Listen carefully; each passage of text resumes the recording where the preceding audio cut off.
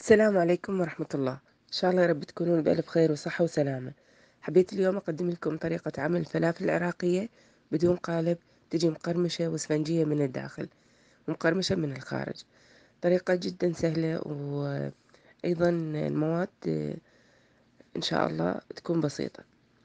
هنا عندي ثلاثة أكواب كوب القياس نقعتهم من قبل بيوم وأيضا عندي نص حبة بصل سن من الثوم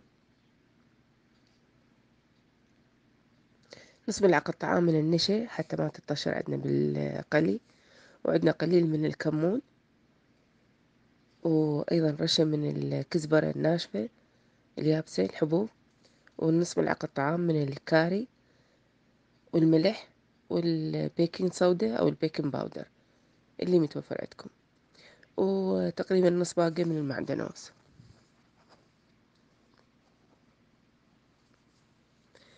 بالبداية نحتاج محضرة الطعام. إذا ما متوفر عندكم تقدرون نفس الخلاط مالت العصير بس المفروض تحريك مستمر بالملعقة لحد ما توصلون القوام المناسب. نقعت الحمص قبل بيوم وأيضا نشفته.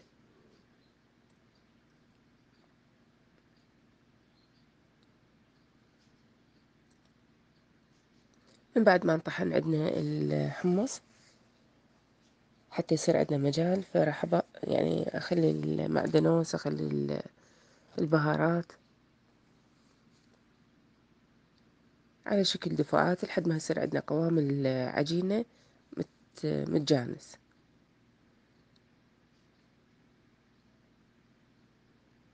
نشيل من عندنا أعواد الخشنة أهم شي الأوراق.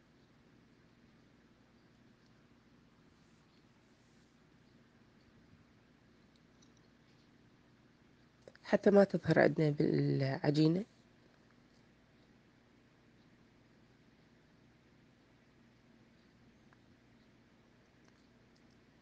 كل شوي أقلب العجين حتى تتجانس بالخلط.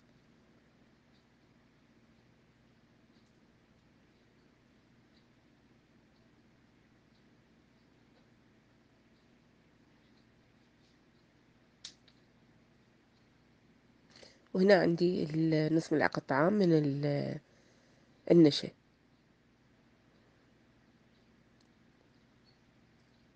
ينطيها يعني تماسك وأيضا ما تنتثر عندنا بال بالقلي. وهنا ضفت تقريبا نص كوب من المي. إضافة تدريجية لحد ما تصلون القوام المناسب. بالنسبة لل baking soda أو ال baking powder ملعقة طعام فقط. أخليها طبعا قبل القلي أخلطها وأحضر الطاو على النار. هنا أفرغ الخليط.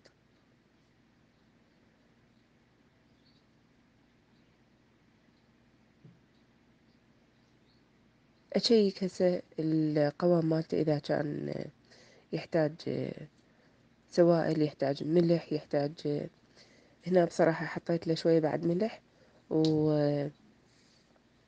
خليت له شوية فلفل حار حتى يعني يطلع طعمها طيب. هنا حضرت الزيت على النار. وقبل ما تبدون نشيك وحدة إذا متماسكة وجيدة فنكمل المشوار. ها مثل ما تشوفون طلعت لنا هذه الكمية. هاي العودة اللي شفتوها الصغيرة راح أسوي بيها ثقب من الوسط. أبلل إيدي بالمي. النار على الوسط من البداية للنهاية. أو شوي أعلى. عينكم ميزانكم بالحرارة. إذا شفتوها ظلت يعني بردت الزيت فشوية نعلي النار. بالبداية أسوي شلون القرص وبعد ذلك أسوي الفتحة بالوسط.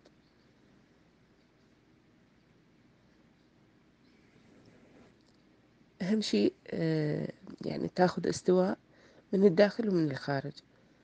حتى إذا النار كانت عالية فتتحمر بسرعة بسرعة من الخارج وتبقى طرية من الداخل. والعجينة مثل ما تشوفون قوامها جدا طري.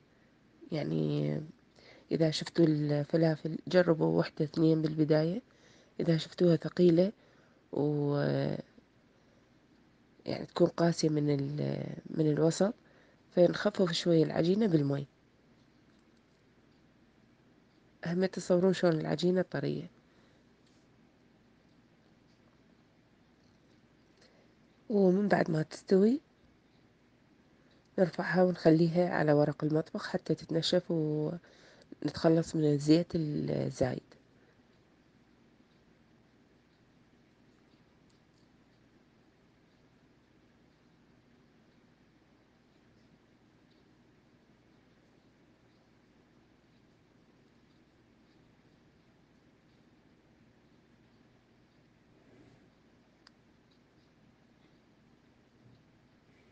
طريقة جدا سهلة مثل ما شفتوا بدون قالب تطلع عندنا شكل حلو ومرتب.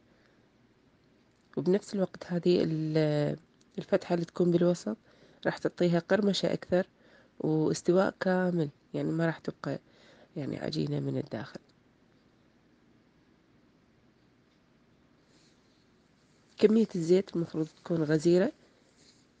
قليتها بهذا الجدر الصغير حتى تاخذ يعني كمية من الأعلى ومن الأسفل إنه تتقلى.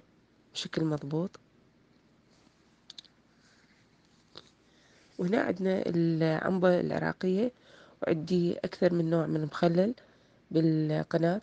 تقريبا ثلاث أنواع خلطتها مع بعض مع مخلل المانجا والعنبة العراقية. فكلهم هذول مخلوطين مع بعض وعندنا أيضا طريقة العنبة العراقية يعني طحنها وبهاراتها. إن شاء الله نتركها تحت هذا الفيديو بصندوق الوصف. والسمون العراقي أيضا عندنا بالقناة.